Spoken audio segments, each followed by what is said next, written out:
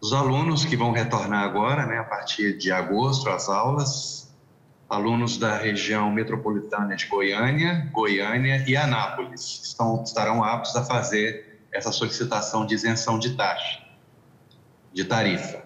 Certo. Como é que eles podem fazer esse cadastramento? É, os alunos de Goiânia e região metropolitana, diretamente pelo site da secretaria, que é o www.juventude.gov.br.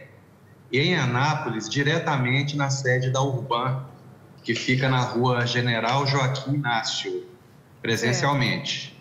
Secretário, agora, depois que a pessoa solicita, que o solicitante pede, quanto tempo para ser aprovado esse pedido dele?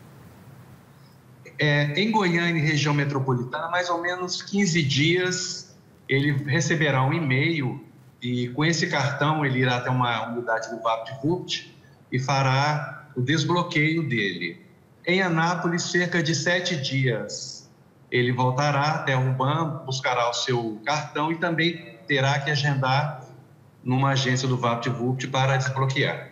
Aí depois desbloqueou, ele já pode usar?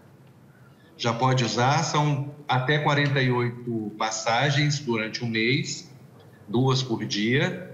Aqueles que por acaso é, atrasarem né, e só conseguirem fazer o cadastramento, por exemplo, em setembro, eles receberão também os dias correspondentes ao mês de agosto. Né? As inscrições ficaram abertas, então, do dia 12 de julho a 31 de agosto, até para evitar aglomeração nos pontos que são presenciais. Certo. Secretário, a gente tem uma previsão aí, né, da, da volta das aulas presenciais nas escolas públicas para um retorno aí do dia 2 de agosto, mas o estudante já pode estar usando esse benefício em julho. Como é que funciona isso?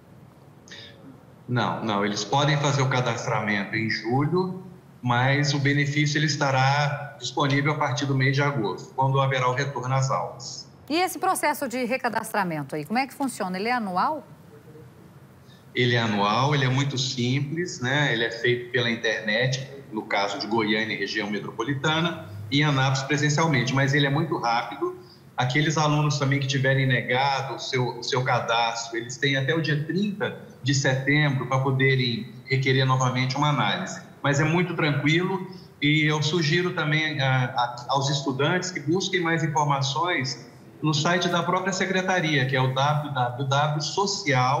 www.social.gov.br.